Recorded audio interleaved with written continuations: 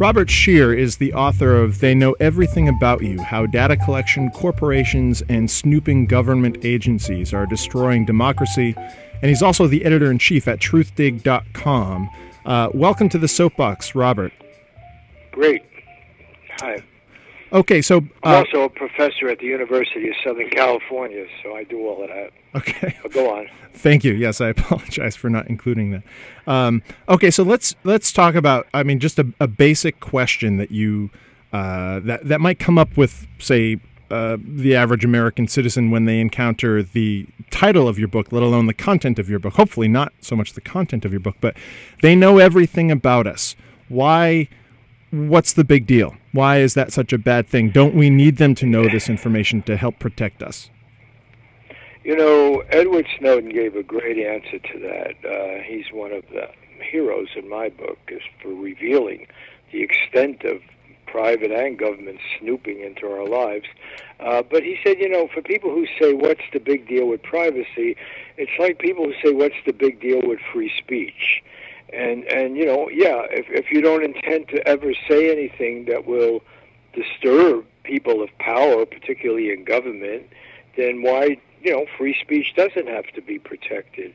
And the whole idea of protecting a zone of privacy, space around the individual, which is enshrined in our Constitution in the Fourth Amendment, as clear as it can be. Uh, Justice Roberts, a conservative judge, you know, uh, leading our Supreme Court uh, last uh, year ago, June, uh, in a unanimous uh, decision, said that the police can't crack into your cell phone uh, with, you know, out having a, a, a specific warrant. And he said that the protection of, of this notion of privacy, private space, was the spark that started the American Revolution. Uh, this was when the agents of the king went into people's homes and violated English common law, violated the spirit of the Magna Carta, and came in with without specific warrants, without due process, without you know uh, a specific reason for in, invading your space. And so this is as fundamental a freedom as we have. Well, okay, so that that's a really important point. Okay, so at that time, uh, Americans found the notion that their privacy could be invaded rather noxious.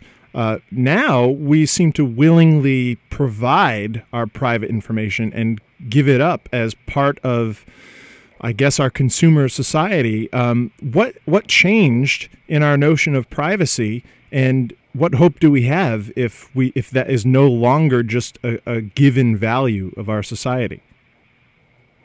Well, then maybe we don't have the habits required by a free people. I mean, it's, you can't be assumed that uh, people naturally uh, embrace notions of representative government, individual freedom, limited government, democracy. Uh, these are all um, attitudes and ways of living that have been developed over the centuries of human experience. And uh, if, if it can, it is possible in societies to be so overwhelmed by a notion of consumer sovereignty and uh, consumption and you know be and sell out and nothing matters and you just want to go along to get along. We have plenty of places in the world where large numbers of people accommodate to authoritarian and even totalitarian regimes. I mean there are probably a very large number of people in china for example, right now, who are grateful that their government has provided a measure of prosperity and development uh, that seemed out of reach until quite recently. And then when other people come along and say, no, but you need to have individual protections, uh, the right to express yourself, the right to assemble for redress of grievances, a right to due process, the right to a, a, a judicial system uh, that is transparent, et cetera, et cetera. There are some people who say, no, we have our ways. And then our uh, obligation as the people who embrace freedom uh, is to then p- become teachers uh, to this world and say no, even uh, when you think you have a benign government, it can turn on you. Uh, even well intentioned people can be corrupted by power. After all, the people who gave us the Fourth Amendment and the First Amendment and the Fifth Amendment, or accepted their inclusion in the Constitution, uh, a notion of division of powers, limited government, checks and balances, all of these notions, the people who were going to be checked and balanced were them. Madison, Jefferson, Hamilton, uh, Washington, they were telling the public, we uh, agree you have to have your individual freedom protected because we can become like the King of England. We, the people you are electing, can become your enemy. We can do bad things. We have to be checked. Now, after 9 11, with this idiotic uh, hysteria about terrorism, uh, once again, an undifferentiated enemy like we had in communism that blots out all thought and, and, and frightens people, we said, oh, we can't have any notion of limited government because we're under attack. Well, the people who enshrined these freedoms in our Constitution were themselves very familiar with attack. They had just come through a revolution. They fully expected the English to return, which they did in 1812. They expected other powers in the world to intrude on them and to try to take away their freedom, and yet they enshrined these notions of limited government and individual freedom. And somehow, after 9 11, we lost all of our sense of history and we said no trust the government. That's that's one point to make. But another that i think is really critical is most people in this country did not think they were giving up their freedom uh, their privacy to government. They thought they were giving it up to private organizations operating in the marketplace. So for example right now i'm wearing an apple watch okay and right now, the Apple Corporation can monitor my blood pressure, you know, my heartbeats. Uh, they can figure out what music I'm listening to, what books am I reading, all of this stuff. Okay. Well, I made a, a, a, a I said, oh, you know, about a week ago when I bought my Apple Watch, I think Apple, okay, it's not the same as the police state. Uh, you know, Apple favors encryption. Apple has pushed back against the NSA. I'm not giving a commercial for Apple, but I made a judgment that I could, to some degree, ju- trust this private corporation. What we did not know, and what gives me very serious pause in wearing this watch, is that the until Snowden's revelations that made it eh, so clear you can't disregard it, the U.S. government has no respect for the private sector and has no respect for my transaction with Google, Facebook, Apple. And they just went in and chopped into their fiber optic cables under the ocean. They went in through backdoor into their main databases. And the government assumed under the NSA, uh, you know, and, and the CIA and the FBI uh, that they had the right to intrude on all of these private transactions. Now, the U.S. Constitution is not set up to regulate these private transactions. It's set up to regulate an overuse, overreach of government power. And that's been a big confusion here. And now it's a big problem for these private corporations, as my book details, because while Americans may be willing to have a benign view of their own government, which I think is folly, and, and the very folly that our framers of our Constitution warned against, most people around the world are not willing to accept that bargain. And so it's really hurt Apple and, and, and Google and Facebook's business model as they operate around the world. And that's why they're pushing back. And that's why the U.S. Congress uh, did away with the Patriot Act and we have the Freedom Act, which is a significant improvement, but of course it doesn't go far enough in controlling the government snooping. Well, let me ask you about that, Bob, because. Uh, you know, I I've, I have a day job and I haven't been able perhaps to follow it as closely as you. But the USA Freedom Act, first of all, it's got one of these laughable names like these these acts so often have. Um, but to me, if you know, you have said that one of the most important points that Snowden, Edward Snowden, uh, re- revealed to us is that there is effectively no distinction between the public and private sector, as you were saying. Now, the USA Freedom Act says, okay, the NSA will no longer collect and hold bulk collection data, uh, phone collection data it'll now be held by private companies. How is that better particularly given the fact that we now know that there is virtually no distinction between private public? Well, there is a distinction between private and public. It's something that the uh, both the private corporations and the government agencies have tried to obliterate. Uh, but Apple can't arrest me. Google can't break into my home. They have to do it through a marshal or an FBI agent or someone else. They don't collect my taxes. They can't uh, uh, punish me in all of those kind of ways. And we still do have a degree of choice. But not only we, the real pressure on Google and Apple, and the reason they're playing, I think, a much better role now that it has been revealed how complicit they were, is they are multinational corporations. They have to operate around the world and service the needs of consumers around the world, whether they live in Greece or they live in China or they live in India or any other place. And so they are, once they've been exposed, and that is the great achievement of Snowden, he wasn't alone, but he certainly was the most effective. Once these corporations are exposed as having not protected our privacy and our freedom, not been vigilant enough, they are under enormous pressure to behave better. And we have some measure of choice. For instance, uh, uh any time a story comes out, like the FBI has tried to prevent Apple and Google for doing encryption, protecting our emails, protecting our correspondence, protecting our purchases, right? Uh, and and so uh, if you want to look, and I do think the Freedom Act represents uh, a very substantial improvement over the Patriot Act, and not just in the specifics. Uh, yes, it is much better to have our data at AT&T or Verizon or someplace because at least we have a measure of choice. We we can't fire the NSA. We can decide to go with some other operator, and people around the world can. The three major internet companies in China are Chinese companies, so they people there will have a choice. Do I trust my Apple device? Do I trust Google searches? This is a big problem in the European Union. They're pushing back very much on on say Google. Uh, do we want these little Google trucks running around Hamburg taking pictures of our houses, or is that just the American CIA taking pictures of our houses? So there is a difference between the private sector and the government sector.